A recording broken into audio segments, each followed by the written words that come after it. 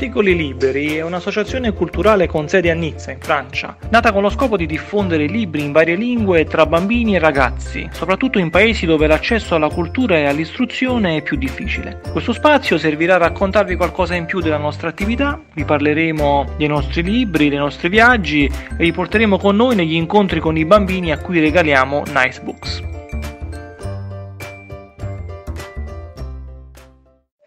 Articoli Liberi is a multilingual project. We are a non-profit organization based in the south of France. We create and distribute free books, mostly to children from poor areas. In fact, we believe that young people from any country should have free access to education. We have no political nor commercial aims. The only purpose is to pass down the importance of reading to the new generation. Hi everybody and welcome again. And thank you so much to Senza Barcode, which is hosting us on their channel. I'm Frank Iodice, I'm an Italian writer, and I'm going to tell you something more about Articoli Liberi, what we are and what we do. So everything started six years ago, when I left for Montevideo with no money in my pocket, just with a backpack and an idea in my mind. I wrote a text based on my experience in South America and about the encounter with the poor president Pepe Mujica. So the result of this experience was a story titled Brief Dialogue on Happiness. After six months, I came back to Europe and I went around French and Italian high schools with my trunk full of this little uh, pamphlet. My objective was to deliver to the students a message of freedom, rebellion, a love for our time, and something in particular that I learned from the poor president himself the capacity to question oneself, which is the beginning of any revolution. Then, in a later time, I've been also presenting at Florida State University and Augusta University, along with other academic conferences. But the experience which impressed on me the real sense of my mission was that period amid children from Uruguayan categories. For this reason, we decided to, de- to dedicate our work to the young. In fact, amazing people reached me and told me that my dream could be the dream of someone else. And this is how we created Articoli Liberi. So now we are a team. We structured this project. We created our own, our own website, our official logo, our own style. So in a few words, what we do is publishing books, but not only. We would like to involve other publishing houses and create a more expanded circuit of donations.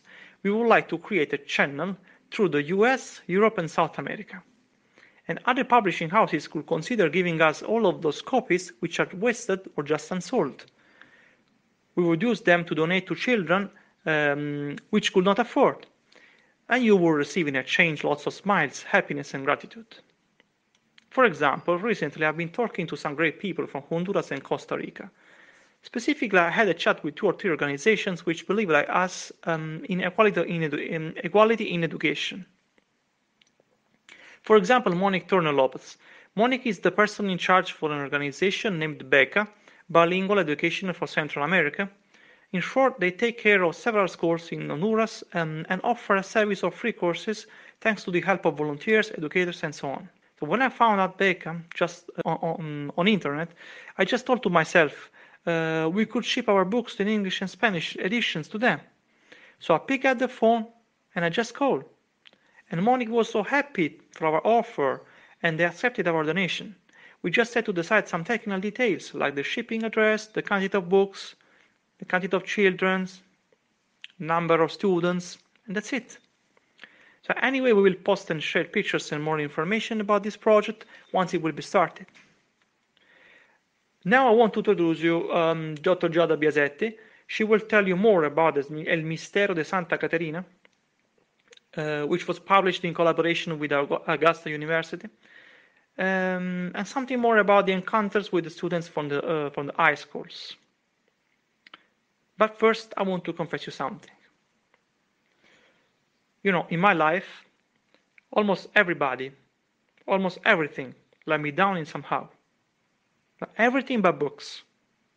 So what we offer when we offer a book is not only the experience of reading, nor the capacity to elaborate and expose your own thoughts, which is a consequence, almost a mechanical consequence of reading. Now, what we offer is hope, joy for life, trust in human being, believing in a change.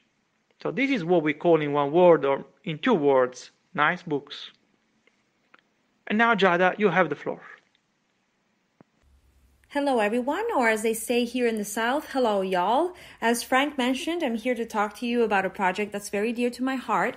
This project was something that was made possible by Articoli Liberi, so I am very grateful for their help, their support, and their collaboration. It all started last semester during the spring in, in three of my classes. I was teaching three advanced Spanish classes. They were Introduction to Spanish and English Translation, Introduction to Spanish and English Interpretation, and Spanish Composition. Every semester, I try to incorporate a project that gives students a lifelong learning experience and something that is also resume worthy. For the first time ever, I decided to combine my three classes into one semester long project. My two translation classes were in charge of translating a chapter or so, or some fragments of other chapters of Frank Iodice's novel that was originally written in Italian and then translated into English. And now my students were um, translating it into Spanish. We decided to select chapters that focused on specific characters from the book to give it some continuity. My students worked in groups and delivered various drafts of the translations. Uh, we had several writing workshops where they were uh, also peer edited, um, and they also got to work with the author himself remotely. They worked with him in order to make sure that they were being faithful to the original and that the author was happy with their translation.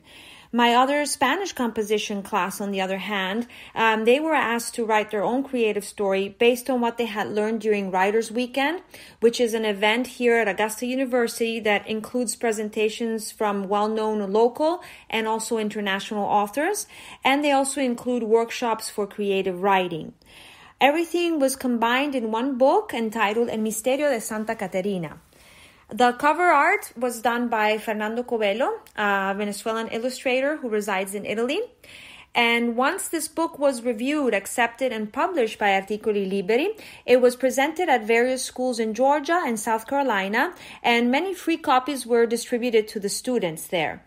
Because this project was so successful, I am currently working on another project with my translation students this semester that will include the translation of creative work written by three authors here at Augusta University that work in the Department of English and Foreign Languages in the creative writing program. Their names are Anna Harris Parker, Jim Minnick, and Spencer Wise. I will tell you more about this project at a later time. Um, I am very excited to be working with Articoli Liberi again, and I just want to end by saying that Articoli Liberi will send El Misterio de Santa Caterina, along with other books, including the current one we're working on, to NGOs such as Abriendo Mentes in Costa Rica to inaugurate the opening of the new community library for the young and for members of the community. I am very, very, very proud of being a part of these, these ongoing projects and contributing to Articoli Liberi's remarkable mission. Thank you very much for listening. Thank you very much, Dr. Giada Biasetti from Augusta University in Georgia. I would like to invite you all to look through our website, www.articoliliberi.com, or join us on Instagram, or just write at contact at articoliliberi.com for any idea, suggestion, or support you might want to give to our project. It's a small project, you know. Probably a few of us won't change the world, but I believe that books alone do change the world. Articoli Liberi è un'associazione culturale con sede a Nizza, in Francia, nata con lo scopo di diffondere libri in varie lingue tra bambini e ragazzi, soprattutto in paesi dove l'accesso alla cultura e all'istruzione è più difficile. Questo spazio servirà a raccontarvi qualcosa in più della nostra attività, vi parleremo dei nostri libri, dei nostri viaggi e vi porteremo con noi negli incontri con i bambini a cui regaliamo Nice Books.